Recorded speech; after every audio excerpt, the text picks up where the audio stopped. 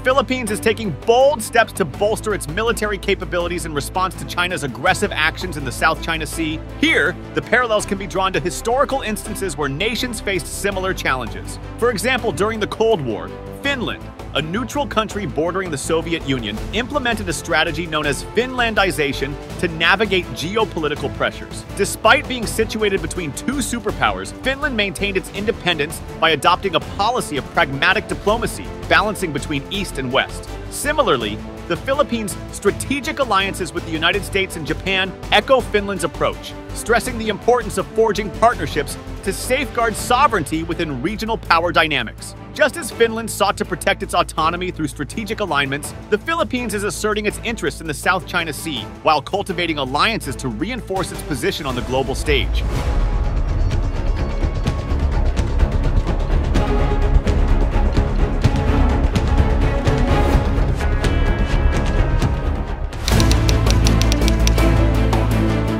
Wake of China's persistent attempts to assert dominance over the South China Sea and encroach upon the Philippines' territorial waters, tensions in the region have reached at new heights. Recent clashes between Chinese and Filipino vessels pinpoints the escalating maritime disputes, potentially drawing in the United States which is a long-standing ally of the Philippines. China's strategy of employing gray zone tactics aimed at coercively altering the status quo without triggering a military response has targeted the Philippines in particular. Over the past nine months, Filipino vessels have encountered Chinese military-grade lasers and water cannons, obstructing their access to the disputed Spratly Islands. In a bold move reminiscent of Chinese tactics, Manila recently deployed Coast Guard officials as fishermen to remove buoys blocking Filipino fishermen from their exclusive economic zone.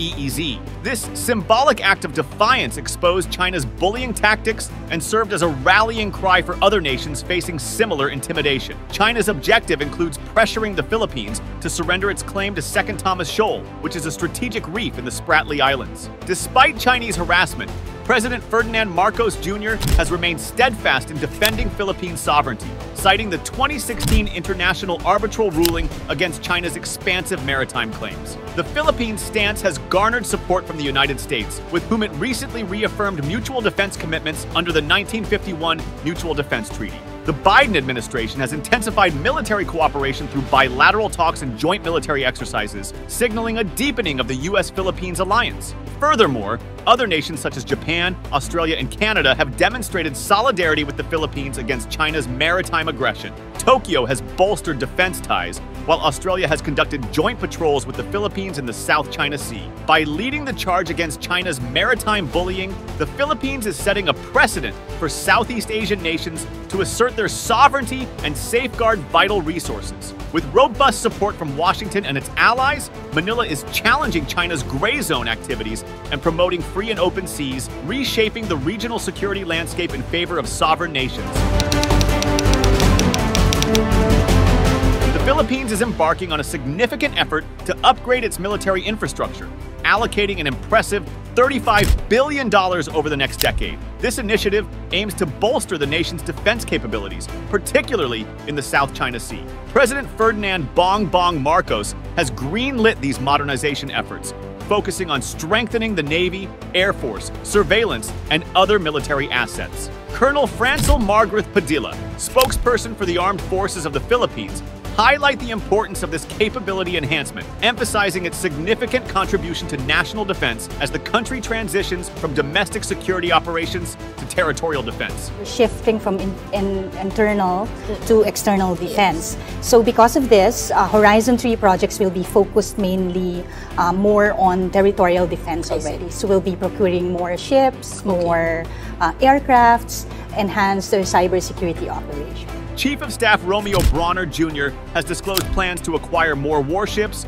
combat aircraft, radars, and other essential equipment under this modernization initiative. The modernization plan includes various acquisitions such as multi-role combat aircraft, MRCA, radars, additional frigates, guided missile systems, helicopters, and submarines. Notably, the Philippine Navy is poised to acquire its first submarines, with countries like South Korea, Spain, and France expressing interest in supplying them.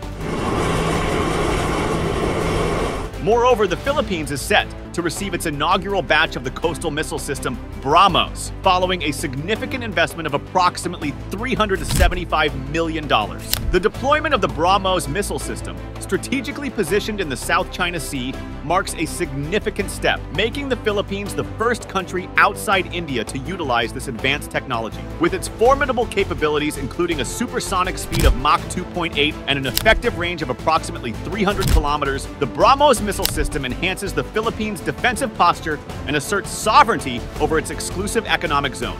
EEZ. In parallel, the Philippines is enhancing its military presence on islands and reefs in the contested South China Sea, as announced by Manila's military chief, Romeo Brawner. This initiative focuses on improving the livability of these features for troops stationed there, including the installation of essential infrastructure like desalination machines. Despite ongoing territorial disputes involving multiple claimants, including China, the Philippines remains steadfast in its commitment to international law and sustainability. Defense Secretary Gilberto Teodoro affirmed the country's determination to ensure the unimpeded and peaceful exploration and exploitation of natural resources within its EEZ, signaling a proactive stance in safeguarding national interests.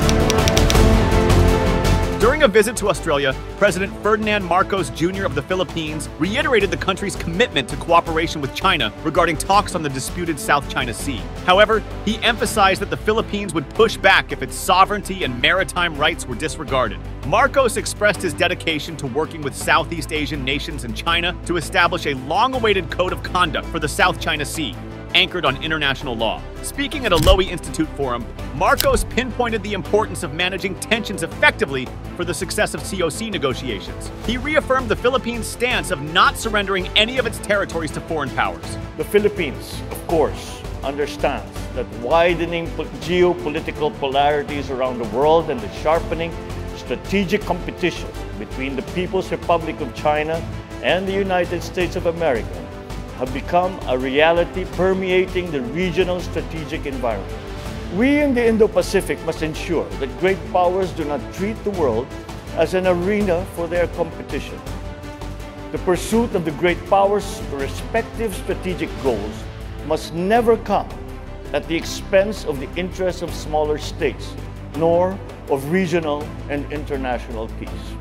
Despite strained relations with China since Marcos assumed office in 2022, characterized by disputes over atolls and reefs in the South China Sea, the Philippines has strengthened its defense ties with the United States, a move Marcos emphasized was the country's choice. Highlighting the enduring alliance with the United States as a pillar of regional stability, Marcos emphasized the Philippines' commitment to strengthening it further. Asia Pacific region, I would be stating the obvious uh, to say that our longest partner and ally has been the United States. Uh, we will continue to work together with, uh, with our great partners uh, to, uh, uh, to build and, and modernize uh, your capability as, as well as increase our interoperability. He departed from his predecessor's pro China stance, accusing Beijing of aggression in the Philippines' exclusive economic zone. Under Marcos, the Philippines has expanded the number of bases accessible to U.S. forces, including new sites facing Taiwan. Regular U.S. Philippine military exercises have extended to joint air and sea patrols over the South China Sea and near Taiwan, actions viewed by China as provocative. Marcos criticized the excessive focus on the superpower rivalry between the United States and China, stressing the importance of addressing aggressive, unilateral actions that violate international law. He announced approval of the third phase of the military's acquisition plan to support the country's shift towards external defense, ensuring the peaceful exploration and exploitation of natural resources within its jurisdiction, including its exclusive economic zone. During a summit in Manila between Prime Minister Fumio Kishida and President Ferdinand Marcos Jr., Japan affirmed its commitment to providing defense-related equipment to the Philippines. These included small patrol vessels, radars, and drones under Japan's new Official Security Assistance OSA framework. The initiative aimed to increase security ties with the Philippines in response to China's aggressive maritime expansion in the East and South China Seas. The decision to supply defense equipment aligns with Japan's national security strategy emphasizing cooperation with like-minded countries to reinforce security. And agreed with the Philippines to provide coastal surveillance radars to the Philippines Navy as the first cooperation project in the world under Japan's newly established Official Security Assistance, OSA. Unlike official development assistance, OSA enables direct support for the armed forces of partner nations with shared objectives. Territorial disputes between the Philippines and China, particularly in the South China Sea, have escalated, prompting Japan and the Philippines to enter negotiations for a Reciprocal Access Agreement, RAA. This agreement will facilitate joint training between Japan's self-defense forces and the Philippine military. Chief Cabinet Secretary Hirokazu Matsuno recognized Japan's commitment to upholding a free and open international order based on the rule of law and described the Philippines as a strategic partner sharing fundamental values and principles, expressing Japan's eagerness to strengthen the bilateral relationship. Japan's prioritization of the Philippines as the first recipient of OSA signifies its commitment to supporting the Philippines and enhancing security cooperation. Additionally, the RAA negotiation highlights Japan's efforts to deepen ties with Manila and pinpoint the importance of joint training and cooperation in addressing regional security challenges, particularly concerning China's assertive actions. The momentum for enhanced security cooperation has been bolstered by the Marcos administration's efforts to improve relations with the United States since assuming office in June 2022. Both Tokyo and Manila anticipate that the conclusion of the RAA will pave the way for expanded joint training activities, including with Washington. The inaugural joint talks between the National Security Advisors of the United States, Japan, and the Philippines on June 16th last year marked a significant milestone in regional security cooperation. In response to escalating tensions over North Korea, China, and Ukraine, the three nations affirmed their commitment to bolstering defense cooperation to adapt to the evolving security landscape.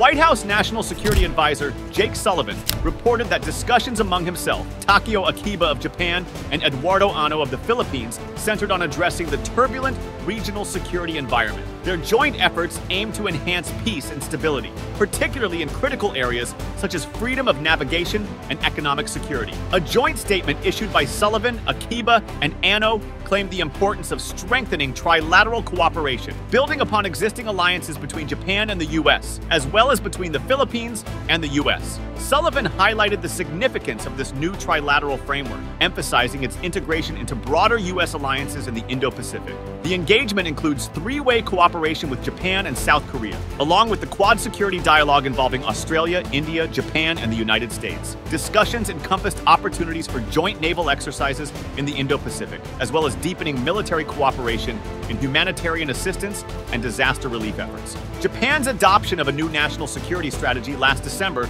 included a significant increase in defense spending and security assistance for developing nations. This strategy is particularly relevant for the Philippines, which is expected to benefit from Japanese support in infrastructure development and security assistance. As tensions persist in the South China Sea among multiple claimants, including China, the United States reaffirmed its commitment to freedom of navigation and peaceful dispute resolution in the region. Likewise, the Philippines' decision to acquire its first submarine represent a significant shift towards a more proactive stance in safeguarding its interests beyond its borders, according to analysts. Approved by President Ferdinand Marcos Jr. as part of the military's modernization plan. Ang commitment para mag uh, para mag, mag-operate ng submarine is not a small commitment. It is a very uh, it is a very large commitment because uh, the training that is involved, the equipment uh, that is involved, and the the, the operational uh, requirements that are involved are quite significant. Chester Cabalza, founder of the International Development and Security Cooperation think tank, views the submarine purchase as a transformative step, signaling a departure from the country's traditional focus on internal security towards a stronger emphasis on territorial defense. Cabalza believes this move will position the Philippines as a maritime power in the region. The Philippines' defense budget for 2024, which includes additional funding to enhance its presence in the South China Sea, signals its commitment to strengthen its military capabilities. Mark Manantan, Director of Cybersecurity and Critical Technologies at the Pacific Forum International, sees the submarine acquisition as a sign of Manila's growing security assertiveness. In this regard, several submarine manufacturers have eagerly presented their offerings to the Philippines, reflecting the keen interest in securing a contract. Spain's Navantia stands out with its proposal of two S-80 class Isaac Peral submarines, valued at US $1.7 billion. This offer includes not only the acquisition of submarines, but also the construction of a submarine base in Ormoc City, Leyte, along with comprehensive training, technology transfer, and maintenance support. Navantia's S-80 class submarines, measuring 81 meters in length, boast advanced capabilities, including the ability to launch attacks from sea to land and conduct various missions such as surveillance and anti-submarine operations. Equipped with an air-independent propulsion AIP system, these submarines can remain submerged for extended periods, enhancing their operational effectiveness. Furthermore, the submarines offered by Navantia can deploy guided Harpoon missiles and Tomahawk cruise missiles, further augmenting the Philippines' defensive capabilities in the maritime domain. In addition to Navantia, France's naval group is competing to provide submarines to the Philippines, offering two diesel-electric Scorpion-class submarines. Meanwhile, South Korean company Hanwha Ocean, formerly known as DSME, is also vying for the opportunity to supply submarines to the Philippine Navy. Their proposal of the Jangbogo III submarines, equipped with advanced propulsion systems and guided missile capabilities, presents another compelling option for the Philippines. Overall, the race among Spain, France, and South Korea to supply submarines to the Philippines highlights the country's commitment to enhancing its defense capabilities in the face of evolving security challenges. Overall, analysts view the submarine acquisition as a pivotal moment for the Philippines. The Philippines is currently deliberating whether to proceed with the acquisition of its inaugural submarine, a decision that holds the potential to increase the country's naval capabilities amid a strategic shift toward external defense, stated Colonel Francel Margareth Padilla, spokesperson for the Armed Forces of the Philippines.